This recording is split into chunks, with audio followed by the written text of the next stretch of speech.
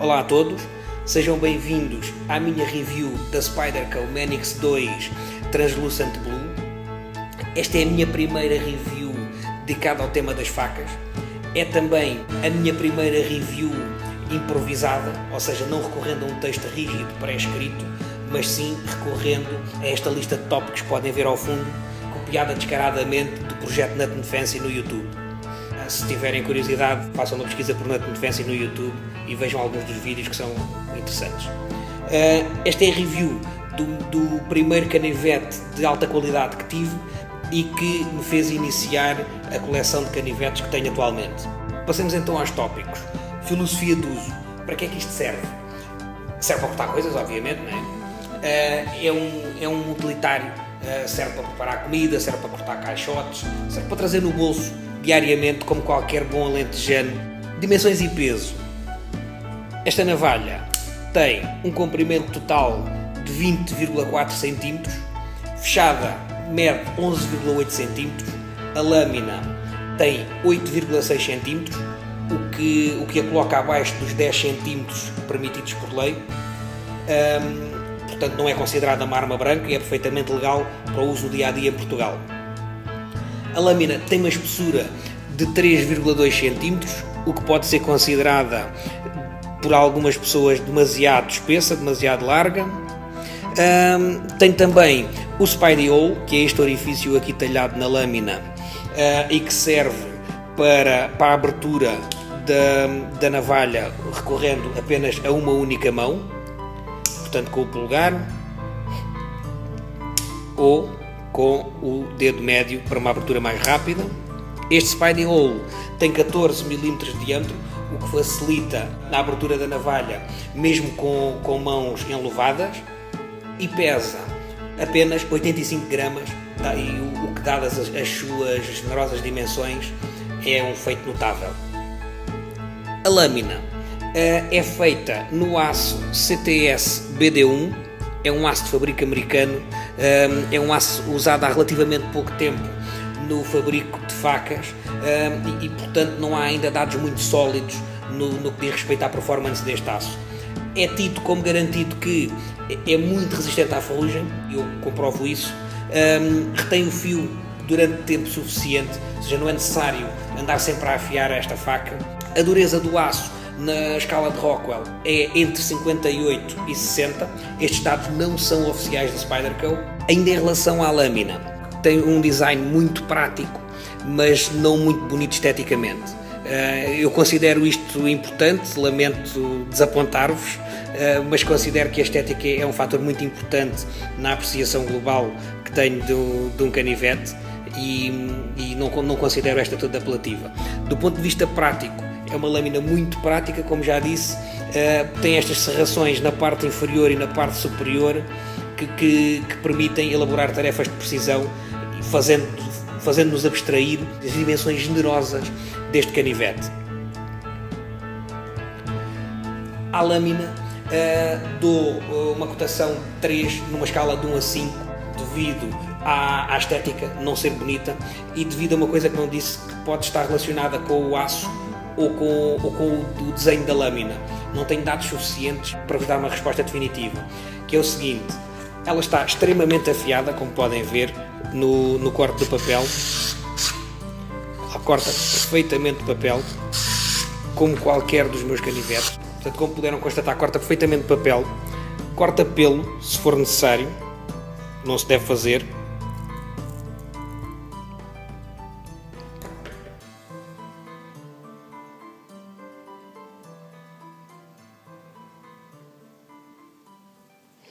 Mas não faz uma coisa que consigo fazer com a maior parte dos meus canivetes uh, e que é com a ponta isolar um único pelo e cortá-lo. Nunca consegui fazer isto com este canivete, nem com, com, o fio que trazia de fábrica, nem depois de afiado por mim. E com qualquer um dos, dos, dos meus outros canivetes consegui fazê-lo, tanto com o fio que traziam de fábrica, como depois de afiados por mim, depois de, de alguma utilização. Daí que a pontuação seja de 3 para a lâmina. Em relação ao aço, dou-lhe uma, uma, classificação de 4 numa escala de 1 a 5 porque apesar de ser um aço novo, tenho gostado bastante de o utilizar. É fácil de afiar, mantém o fio durante tempo mais que suficiente, consegue-se uma, uma precisão de corte muito, muito grande, um, mas não consigo, e, não, só não lhe dou o 5 por causa disso, uh, não consigo isolar um único pelo e cortar um único pelo com o bico desta, desta faca, enquanto que o consigo fazer com todas as outras facas da minha coleção.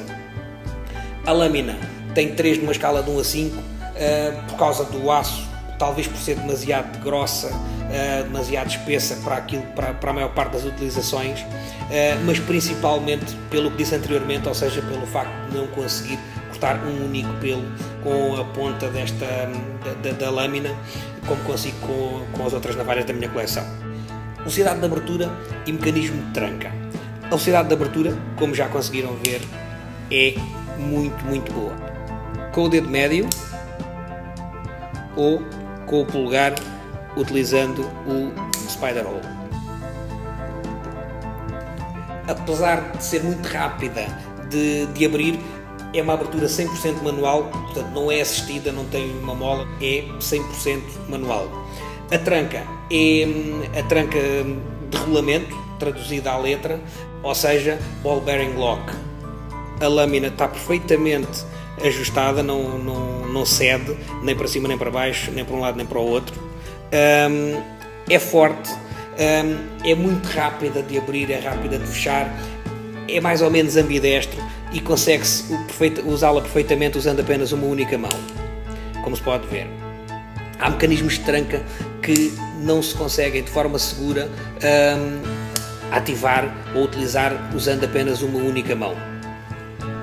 Uh, esta tranca de rolamento uh, obtém uma classificação de 4 numa escala de 1 a 5 e a operação com uma única mão obtém uma classificação de 3 numa escala de 1 a 5. É atribuído um valor tão baixo uh, porque há mecanismos bastante melhores, como por exemplo o Axis Lock da Benchmade ou dentro da própria Spyderco o, o Lockback, o mecanismo de Lockback que, que veremos numa, numa review próxima e que é muito mais rápido de desativar, é muito mais fácil de desativar usando apenas uma única mão do que esta tranca de rolamento.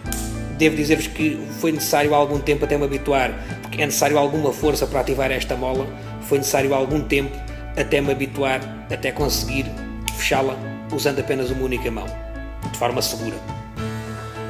Punho, material de construção e clipe. O punho desta navalha é feito em FRCP ou seja, Fiberglass Reinforced Copolymer, ou seja, copolímero reforçado da fibra de vidro, traduzido de forma mais ou menos grotesca. Este punho é um punho transparente, é mais uma questão estética do que de necessidade. Um, é um punho não reforçado com longarinas de aço, como podem ver no seu interior, o que permite criar um canivete deste tamanho com um peso tão, tão baixo. Uh, o facto de não ter longarinas de aço no interior não contribui em nada para que esta navalha tenha um aspecto frágil, é perfeitamente sólida e para as tarefas normais para as quais foi desenhada é perfeitamente adequada. Um canivete não precisa de longarinas de aço no interior do punho para ser sólido e bem construído, e esta é a prova. Este punho tem um design muito, muito bom, muito ergonómico e tem também esta textura bidirecional da Spyderco permite uh, uma, uma aderência uma tração muito boa, seja, seja em que condições de utilização for. Ou seja, mesmo com as mãos molhadas ou sujas com gordura, nunca se sente que, que este canivete nos vai cair da mão uh, por falta de tração. O clipe é ajustável em duas posições, portanto, pode-se retirar deste lado, uh, que é o lado onde os destros o deverão utilizar, e passar para este lado para pessoas que sejam canhotas o clipe pessoalmente eu não o utilizo para, hum, para prender no bolso das calças. Utilizo sim para segurar e para garantir que estes três dedos nunca ficam no caminho da lâmina, seja na abertura, seja no fecho da lâmina. Passo a exemplificar.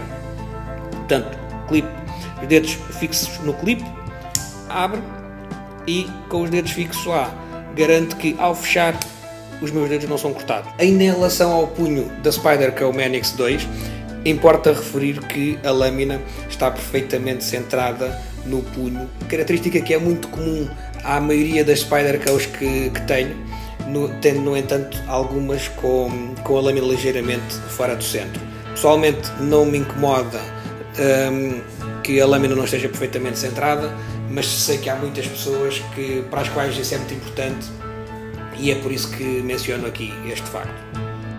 Numa escala de 1 a 5, o, o punho uh, ganha uma, uma, classificação de 5, ganha a classificação máxima, porque a nível de ergonomia é perfeito.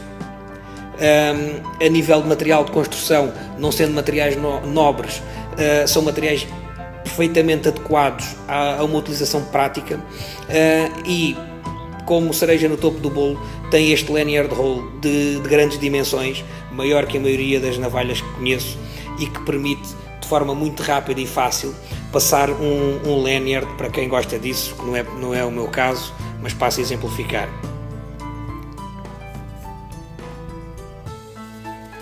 Portanto, consegue-se passar um lanyard com, com um laço uh, e de forma muito rápida colocá-lo e retirá-lo um, da navalha sem ser uma coisa mais ou menos permanente ou sem, sem haver necessidade de o cortar e de o refazer. Ergonomia, como já disse, numa escala de 1 a 5 leva a classificação máxima. Uh, é perfeita, todos os comandos estão no sítio certo, o comando do mecanismo de tranca está no sítio certo, o Spidey Hole está no sítio certo, e apesar das suas dimensões generosas, como já disse, o facto do punho ser tão ergonómico facilita bastante a sua utilização e faz-nos abstrair do tamanho algo grande deste, deste canivete. A durabilidade. Uh, vamos atribuir-lhe 4 numa escala de 0 a 5, uh, ah, apenas porque, talvez desnecessariamente, mas tem canivetes que, que aparentam ser, ser construídos de forma mais robusta. O valor não é um canivete barato, temos que dizer isso de forma frontal. Numa escala de 1 a 5, damos-lhe 3. Um, há canivetes feitos na China que são da mesma marca da, da Spyderco, uh, mas que são, são bastante mais baratos. São mais pesados, são menos práticos, têm outro mecanismo mais básico de tranca e menos seguro. Uh, tudo isso é verdade, mas no, no, final de contas faz exatamente o que este faz, que é cortar coisas. O design leva 3 numa escala de 1 a 5. Um, ehm, este 3 é dado principalmente pela, pelo facto de não, ser, não ter uma estética muito apelativa. É o meu lado feminino a falar, chamem-lhe o que quiserem, mas é, para mim é muito importante a estética, o fator estética, e daí que lhe custe dois pontos na classificação. Utilização tática. Hum, ora bem, utilização tática, o que é que isto quer dizer? Isto quer dizer uh, a possibilidade de se usar este, este canivete numa, numa situação de defesa pessoal. Pessoalmente não considero um canivete, seja ele qual for, adequado a uma situação de defesa pessoal.